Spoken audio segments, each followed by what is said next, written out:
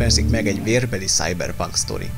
Talán az esőáztatlan neonfényes lelketlen metropoliszokról, a politikusok helyett irányító technológiai óriás cégekről, a repülőautókról, virtuális valóságról, vagy épp a mindenféle augmentációkról, hackerekről, emberi értelemmel rendelkező emikről és androidokról. Igazából fontos elemek ezek mind, hisz elég jól körülhatárolják külsőségeiben, tematikájában ezt az épp ezek miatt jól felismerhető skifi alműfajt, a dolog lényeg része viszont szerintem mint minden történetnek nem pusztán ezekben a sematikus kulcsszavakban, hanem az ezek által alkotott világban és az abban élő karaktereken van. Az igazi cyberpunk történetek ugyanis nem pusztán egy menő, kényelmesen melankolikus disztópia színpompás szutykában szeretnének megmártózni, hanem az utóbbi évtizedek befogadhatatlanul gyors technológiai fejlődésében igyekeznek megtalálni az információ és mesterséges inger tuladagolásban egyre inkább háttérbe szoruló embert és emberi mi voltot. A cyberpunk igazából nem a távoli jövő hírnöke, hanem a közeljövőjé. Jövőképe ma is létező, évről évre ugrásszerűen fejlődő technológiákra épül, amiknek már ma is bőven rabjai vagyunk, a jó cyberpunk pedig csak megpróbálja megmutatni, hová tart ez az egyre személytelenebbé váló társadalom, és hogyan alkalmazkodik mindehez az átlagember. Bár mostani bemutatom tárgya a Cloudpunk első blikre a jól ismert cyberpunk klisékkel kecsegtet, történetét a neonban úszó felhőkarcoló közt repkedő futár szerepébe helyezve, erőssége szerencsére mégsem ez, hanem az a rengeteg érdekes, hol humoros, hol tragikus karakter, akikkel ez alatt a 8-10 órás kaland alatt megismerkedhetünk, és akiknek további sorsát illetően is rendszeresen döntenünk kell. Maga a főhős, Rania is kimondottan érdekes figura, és bár valóban sok helyzetben nekünk kell a nevében súlyos döntéseket hoznunk, személyiségét mégis erősen meghatározza a háttere és helyzete. Rania ugyanis Nivalis hatalmas városán kívülről érkezett, mivel családjával együtt megfosztották otthonától az adósságbehajtó erők, így aztán a vidéki élet helyett a borús felhők fölé érő rohanó nagyvárosban kénytelen elhelyezkedni, méghozzá a Cloudpunk nevű féli legális futárcégnél. A fő feladatunk ennek megfelelően természetesen különböző csomagok leszállítása lesz a zónákra osztott, horizontálisan és vertikálisan egyaránt kiterjedt nyílt világú városban, amihez első körben egy igen rozogan repülőkocsit kapunk, de aztán persze életre való járgányt is vezethetünk a történet előre haladtával, valamint különböző fejlesztéseket is beszerezhetünk a gyorsabb, pontosabb mozgás érdekében. Azért teljesen korlátlan mozgási szabadságra ne számítsunk, lefele egy ponton a felhők állják utunkat és csak speciális lejáratokon egy-egy küldetés miatt juthatunk a város alsó régióiba, ugyanígy felfelé is csak bizonyos magasságig merészkedhetünk, mert hát a toronyban élő kőgazdagok nem igazán szeretik, ha az ablakaik előtt röpködnek a prolik. És hát így az idő nagy része igazából tényleg ezen végpontok között csomagok A-ból B-be furikázásával telik, akár egy Eurotrack szimulátorban, az élmény viszont ahhoz képest a felhők és neonba csomagolt épületmonstrumok közti repkedéssel és az állati változatos negyedekkel azért hát nyilván egy icipicit más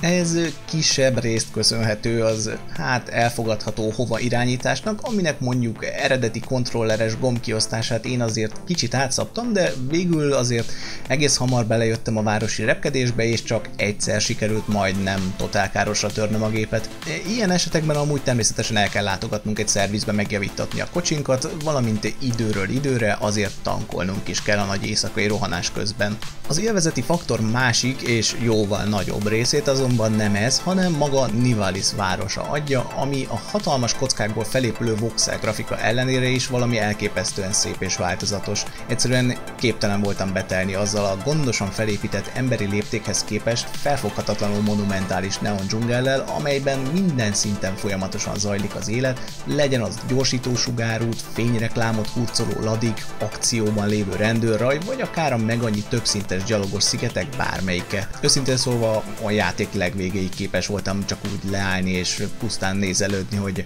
ó, ez fasza.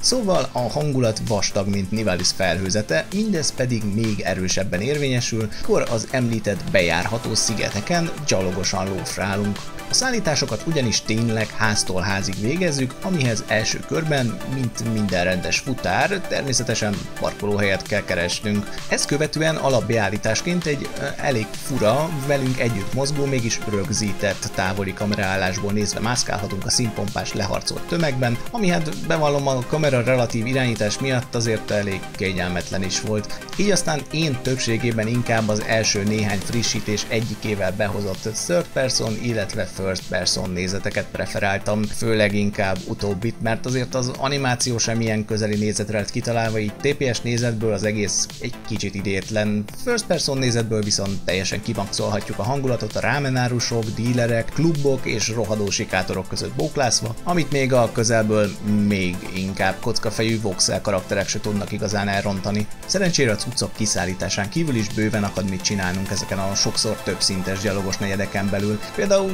vehetünk magunknak kaját, felszedhetünk és eladhatunk kacatokat, összegyűjthetjük a szomszédunkban lakó android csaj lyukkártyákon megmaradt, de szerte szétszóródott emlékeit, vagy csak szimplán beszélgethetünk a különböző nevesített NPC-kkel, akár kisebb mellékküldetéseket is felvéve tőlük. A guberálásra, adásvételre alapvetően nem igazán vagyunk rászorulva, főleg a javítási és üzemanyag költségek fedezésére fordíthatjuk az összegyűjtött limeket, valamint lehetőségünk van nyomorúságos kis bérlakásunkat is kidekorálni egy csomó apró kedves extrával. Igazából ebből is látszik, hogy a Cloudpunk távolról sem egy túlélő játék, sőt egészen odáig is elmennék menni, hogy kis túlzással valójában a szállítgatási mechanika mögé rejtett történetközpontú sétaszimulátor. A hangsúly ugyanis, ahogy a felütésben már bőségesen felvezettem, leginkább a történeten és hát főleg a karaktereken van, akik nagyon izgalmas módon mindig kicsit paródiába hajlóan komikusak, a sorsuk, hátterük azonban mégis legtöbbször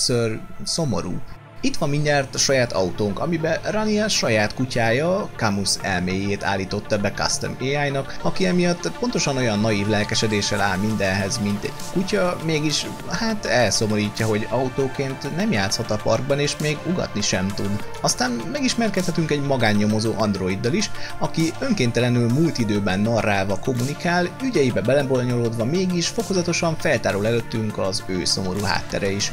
Különleges kapcsolat alakul ki központi diszpécserünkkel is, akitől alapvetően aktuális munkáinkat kapjuk, az utcákat járva pedig rengeteg további opcionális, de nem kevésbé érdekes és változatos formába akadhatunk bele. Legyen az akár egy utcai mutatványos, egy illegális játszótérépítéssel foglalkozó veszélyes android banda, a felhők alatt vagy pont közelben élő törvényen kívüli ventik, vagy épp egy egyszerű kislány, aki egyszer majd autóversenyző szeretne lenni. A főtörténet pedig, bár egyetlen éjszaka eseményeit mutatja be, meglehetősen fordulatos, hisz hiába próbálja Ranier csak a munkáját végezni, és nem belenézni a csomagokba, önkéntelenül is belefolyik az őszintjén egy jóval nagyobb léptékű ügyekbe, ahol állandóan mások sorsát eldöntő helyzetekbe sodródik. Legyen szó akár az Anderson cég androidjairól, hacker terroristákról, vagy akár az egész város működését befolyásoló rejtélyes eseményekről, szinte minden esetben el kell döntenie, lelki ismeretére hallgat, vagy csak kérdés nélkül elvégzi a rábízott munkát, akármilyen mocskos is legyen az. Igazából ez a sok-sok színes személyiség az, akik még élőbbé teszik Nivalis eleve hangulatos és mozgalmas közegét, és őszintén bevallom, bár ez rám egyáltalán nem jellemző, még a végigjátszás után is két-három órán át jártam a várost, minden NPC-t megtalálva, és a szomszéd Evelyn minden emlékét összegyűjtve, hogy minél többet megismerjek erről az elképesztő helyről és annak lakóiról. A dolgom pedig még két szintet dob, hogy az összes karakter teljes szinkront, mi több remek magyar nyelvű feliratot is kapott, így az is nyugodt szívvel felcsaphat Cyberpunk futárnak, aki esetleg nyelvi korlátok miatt nem mert volna belevágni.